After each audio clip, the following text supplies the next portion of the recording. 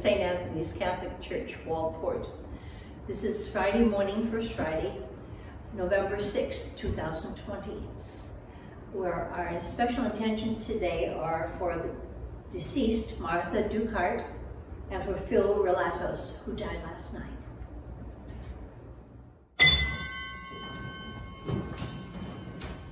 Our opening hymn, All the Ends of the Earth, verses 1 and 2. Thank you.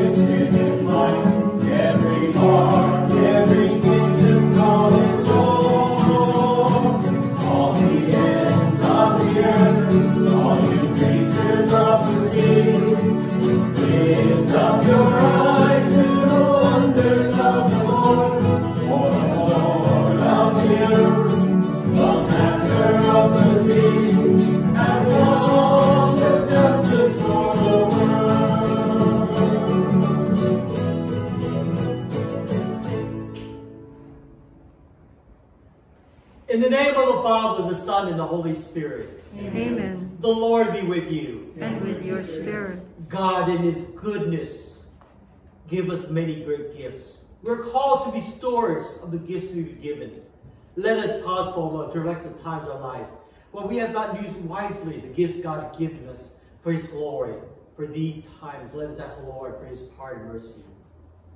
Lord Jesus, you are sent to heal the contrite. Lord, have mercy. Lord, have mercy. Christ Jesus, you call us to follow you. Christ, have mercy. Christ, have mercy. Lord Jesus, you are the way, the truth, and the life. Lord, have mercy. Lord, have mercy. May Almighty God have mercy on us, forgive us our sins, and bring us to everlasting life. Amen. Let us pray. Almighty and merciful God, by whose gift your faith will offer you right and praiseworthy service, grant, we pray, that we may hasten without stumbling to receive the things you have promised through our Lord Jesus Christ, your Son, who lives and reigns with you in the unity of the Holy Spirit, one God forever and ever. Amen. We await a Savior who will change our lowly body to conform with his glorified body. A reading from the letter of St. Paul to the Philippians. Join with others in being imitators of me, brothers and sisters, and observe those who thus conduct themselves according to the model you have in us. For many, as I have often told you, and now tell you even in tears, conduct themselves as enemies of the cross of Jesus. Their end is destruction. Their God is their stomach. Their glory is in their shame. Their minds are occupied with earthly things, but our citizenship is in heaven. And from it we also await a Savior, the Lord Jesus Christ.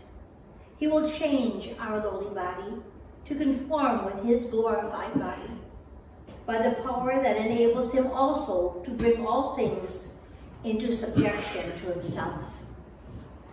Therefore, my brothers and sisters, whom I love and long for, my joy and crown. In this way, stand firm in the Lord, beloved. The word of the Lord. Thanks be to God. Let us go rejoicing to the house of the Lord. Let us go rejoicing to the house of the Lord. I rejoiced because they said to me, We will go up to the house of the Lord. And now we have set foot within your gates, O Jerusalem.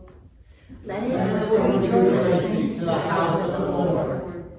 Jerusalem, built as a city with compact unity. To it the tribes go up, the tribes of the Lord.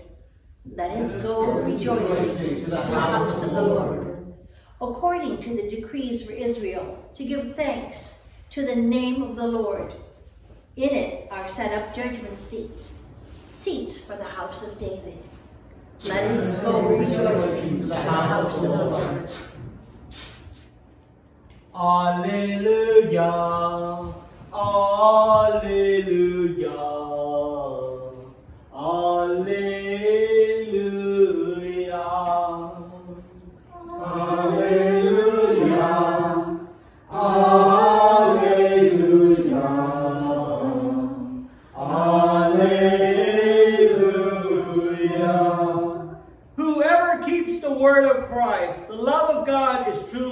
Perfected in him.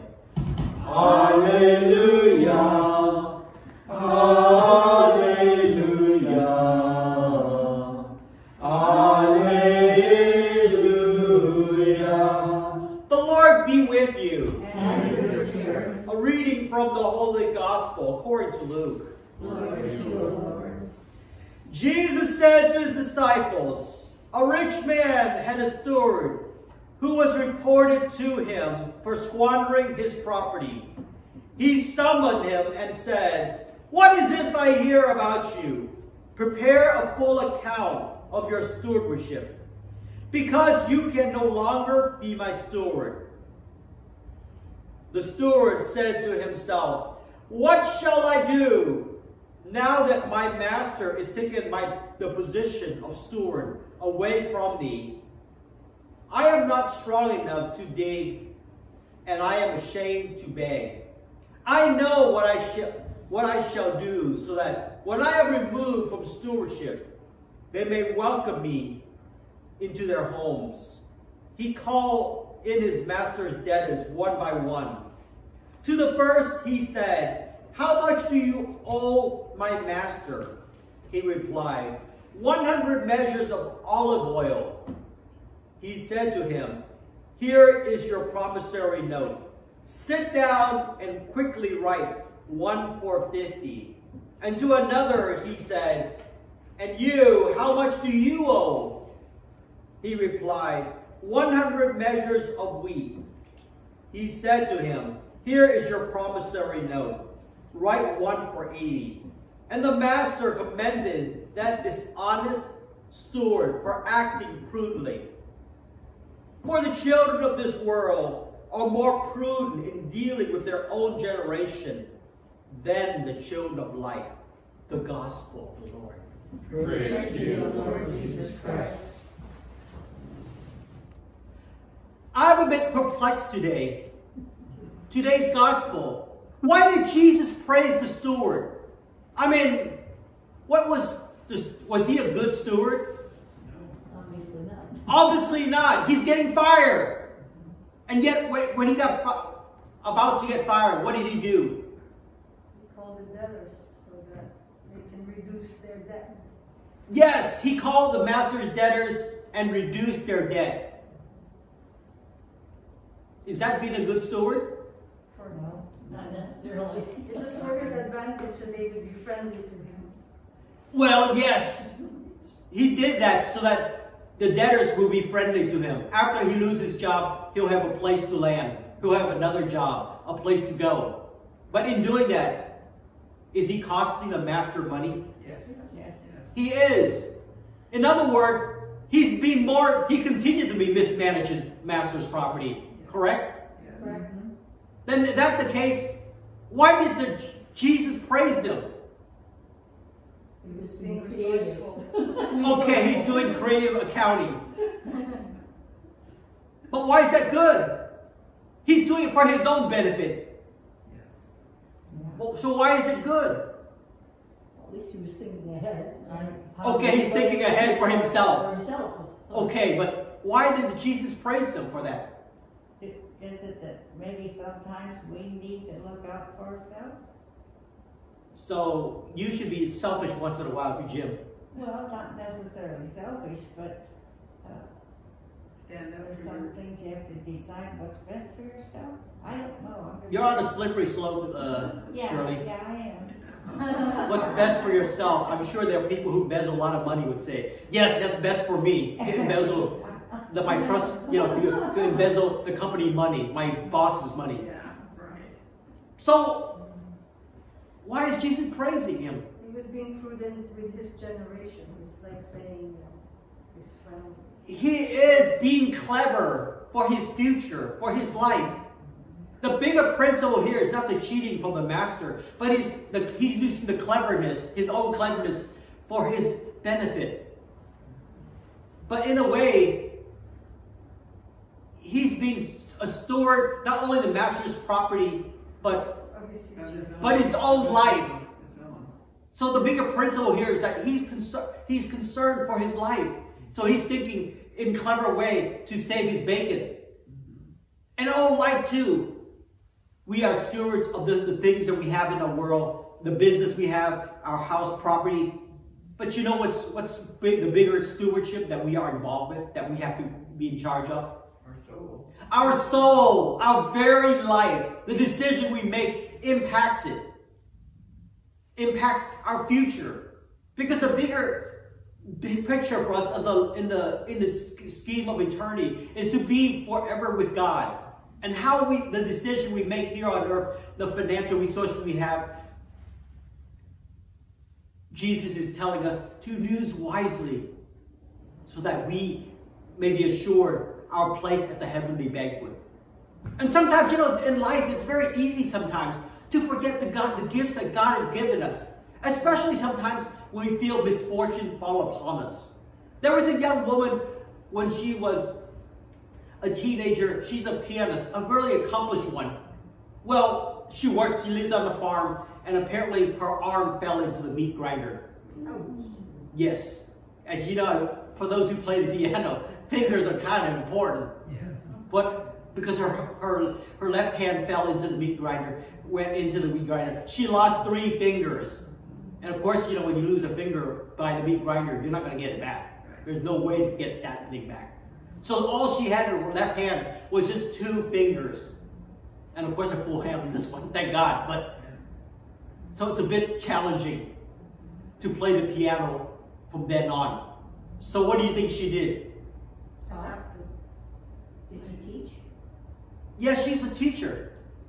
But think about it. Her fingers are taken away from her, extremely valuable for a pianist, you know, for that's extremely valuable. But in a way, because of this loss of the finger, she's also not only a piano teacher, but she's also a teacher of the of how to persevere. The bigger important lesson in life is, you know, even when things get tough, you make do what you got. You can't give up. Yeah, you can't give up. You can't give up. Sure, it would be a challenge. I can imagine playing with two fingers, you know, playing the bass part with only two fingers. There'll be limits to what you can do because Yes. obviously you only got two fingers to do what, you know, what a person, what, an, a- what a normal person can do with five fingers. You only got two. It's going to be a challenge. But you know, her, what she's gone through, imagine what the effect, the inspiration she has on her students. Imagine when the student says, well, I don't think I can do that. Well, you know, well, look at, look at, you think I can do this with two hands. You, you got five fingers. I mean, two fingers, I got, only got two fingers, you got five fingers. Who do you think is, has more, it's a little bit, it's easier to do. And you know, sometimes in life, God allows misfortune to happen to us, to allow each other to inspire one another. You know, I'm each and every one of us has given a great gift. You know, one of the things as part of the pastor installation ceremony, if you may recall, is that they give the pastor, a new pastor, a basket. And, you know, symbolically, this is the resources of the parish. Now, it's up to you as steward, as a pastor of this parish, to take care of the resources of this parish. The material things, the buildings, etc. But you know, for me, the biggest, the most important, what the parish represent People. is the people. That's the bigger, bigger responsibility to me. Yes, the buildings are important. We need the buildings and all that stuff, the pews and everything else to be up running. But it's the people. That's ultimately, that's what the parish is supposed to serve. And our life ultimately, the things we have in our house and the things we have, cars, etc. What is it ultimately for? Service. It's to for service. It's to, to bring glory to God, bring glory to his name, to help one each one another. It's a tool ultimately for our salvation. And the choice of, to ultimately each to us, to, to each of us each and every day. How do we use the resources that God has given us? And so today, my brothers and sisters, I just invite you to look in your own, into your own heart, your own life. The gift that God has given you. Even the gift sometimes you may not think as a gift. You, you know, I can sometimes I look at you guys, I'm thinking, boy, I don't know. For me, it just seems amazing. Sometimes you may not see it as a gift when you're blind, when you're crippled. But I don't know about you, but when I look at a person with that kind of obvious disability, you know, I think to myself, boy, if they can do, carry on and do what they do, it makes me, it makes it a little bit hard for me to say, you know, I feel sorry for myself that I can't do that. Mm-hmm. And that's a, a, a wonderful inspiration, a wonderful gift that that person teaches not only me, but also each and every one of us in our life.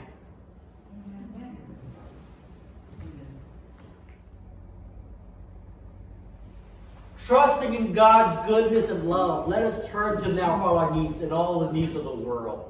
For Pope Francis, for Alexander, our bishop, and all our priests, bishops, and deacons, may God's grace be upon them to help them to lead and guide their people to everlasting life. We pray to the Lord. Lord, hear our prayer. Let us also pray that each and every one of us may use wisely the gifts that God has given us in our life, that in doing so, may we bring glory to his name. We pray to the Lord. Lord, hear our prayer. Let us also pray for all the prayers of concern, the worries that lie deep in our hearts. We pray to the Lord. Lord, hear our prayer. Let us also pray for all our brothers and sisters who have gone before us, trusting in the Lord's love and mercy, especially for those who are listed in the book of remembrance and for our the recently departed Phil Regatos. We pray to the Lord. Lord, hear our prayer. Loving, compassionate Father, accept the prayers of your family gathered here.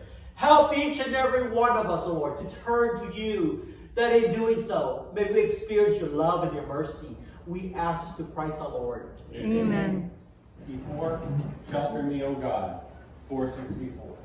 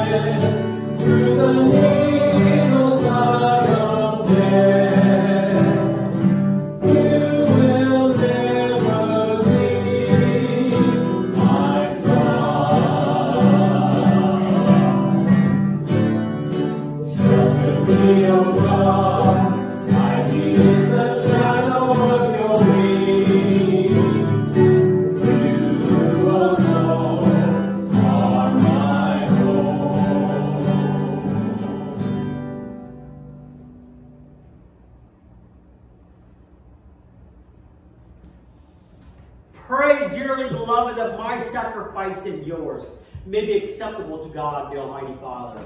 May the Lord accept the sacrifice of your hands for the praise and glory of his name, for our good and good of all his holy church. May these sacrificial offering, O Lord, become for you a pure oblation, and for us a holy outpouring of your mercy through Christ our Lord. Amen. The Lord be with you. And with your spirit, Lift up your hearts. we lift them up to the Lord. Let us give thanks to the Lord our God. It is right and just. It is truly right and just, our duty and our salvation, always and everywhere to give you thanks. Lord, Holy Father, Almighty, Eternal God, through Christ our Lord.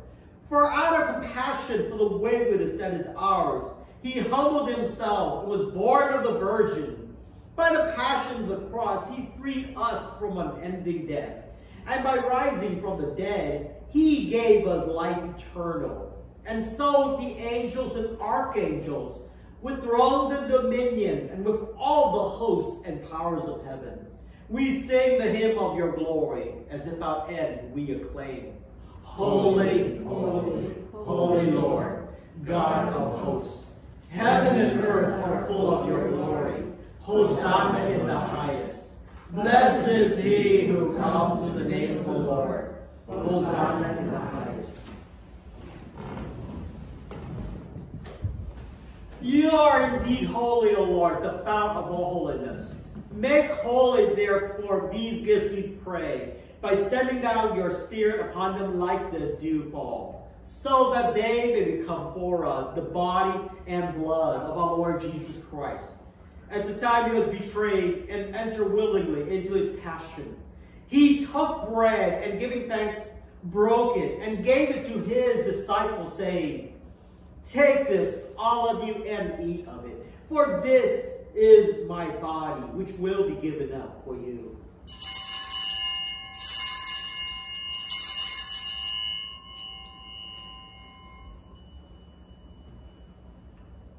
Similar way, when supper was ended, he took the chalice and once more giving thanks. He gave it to his disciples, saying, Take this, all of you, and drink from it.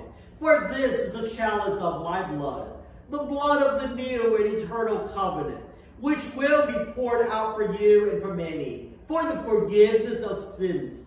Do this in memory of me.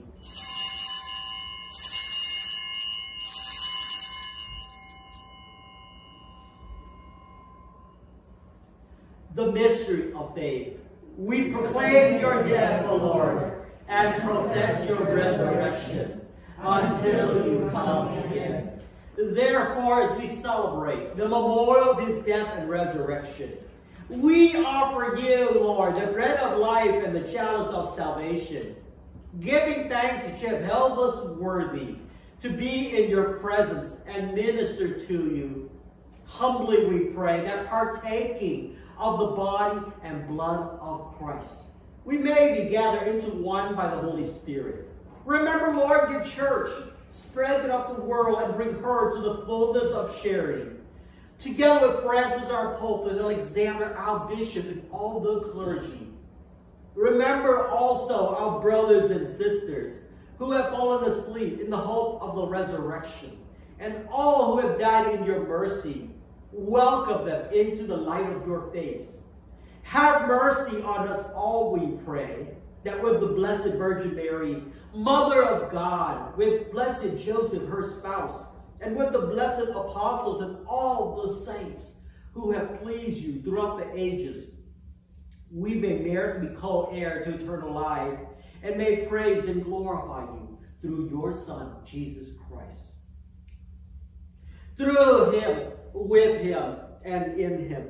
O God, Almighty Father, in the unity of the Holy Spirit, all glory and honor is yours forever and ever. Amen. At the Savior's command, informed by divine teaching, we dare to say, Our Father, who art in heaven, hallowed be thy name. Thy kingdom come, thy will be done, on earth as it is in heaven. Give us this day our daily bread, and forgive us our trespasses, as we forgive those who trespass against us. And lead us not into temptation, but deliver us from evil. Deliver us, Lord, we pray, from every evil. Graciously grant peace in our days, that by the help of your mercy, we may be always free from sin and safe from all distress. As we await the blessed hope and the coming of our Savior, Jesus Christ.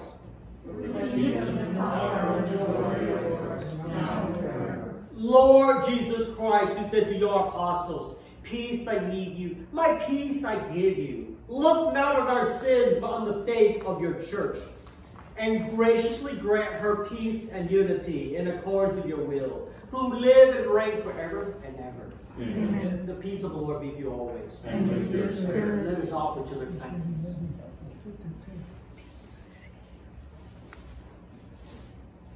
Lamb of God, You take away the sins of the world. Have mercy on us. Lamb of God, you take away the sins of the world. Have mercy on us. Lamb of God, you take away the sins of the world. Grant us peace.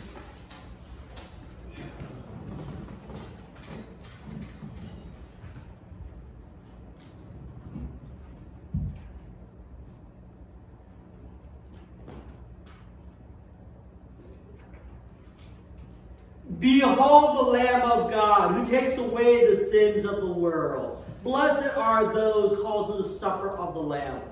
Lord, I am not worthy that you should open my mouth, but only say the word, and my soul shall be healed.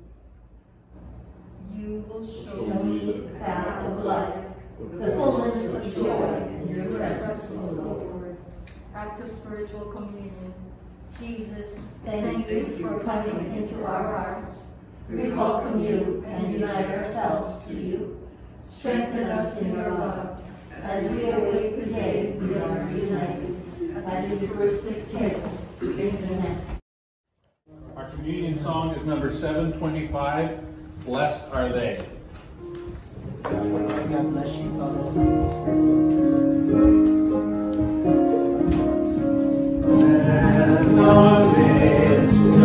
Lord and Spirit.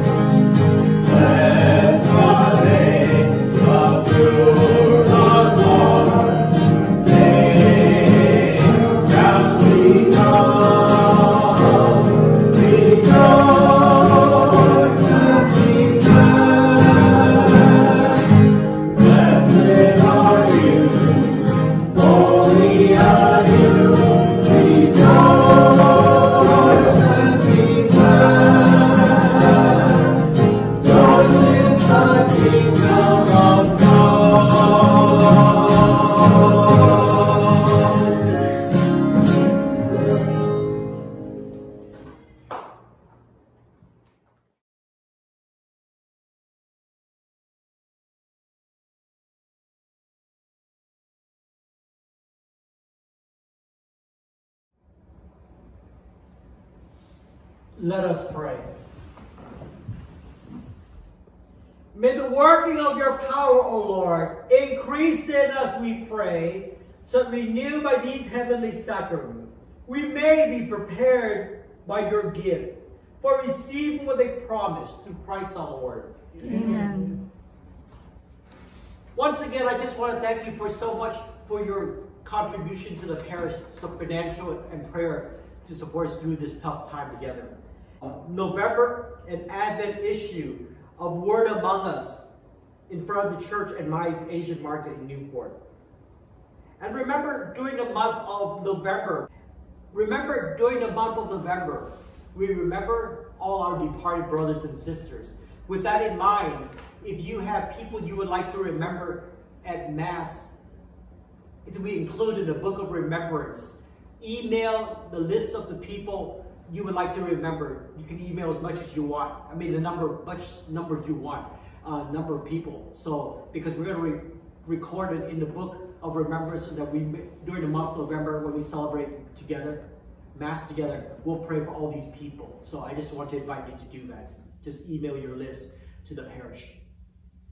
Also remember, if you'd like to join us for daily Mass, please email the office. Daily Mass is from Monday to Thursday at 4 p.m. And remember, each Saturday at 4 p.m., we have our online Mass, uh, Zoom Mass. So if you'd like to join a live Mass online, click on our web page and or on Facebook at that time at 4 p.m. each Saturday. Remember, if you'd like to make an appointment for confession, please email me. My email address is on the, our webpage and on the back of the bulletin. And if you have not been re receiving email notice, but would like to receive email notice in our online bulletin, email us. Let us know that you uh, that you like to do that. We'll be happy to give you, put you on our mailing list. Remember, each each Wednesday we have Bible study at 3 p.m. Join us for that. And remember, we also have Adoration Online also for you. The Lord be with you. And with your spirit. May the Almighty God bless you, the Father, the Son, and the Holy Spirit. Amen. The Mass is ended. Go in peace to love and serve the Lord. Thanks be to God. Saint Michael the Archangel, defend us in battle. Be our protection against the Wickedness and snares of the devil. May God rebuke him, we humbly pray. And do thou, O Prince of the heavenly host, the power of God, cast into hell Satan and all the evil spirits round about the world, seeking the ruin of souls. Amen. Closing hymn is number 616, We Are Called. 616. Live in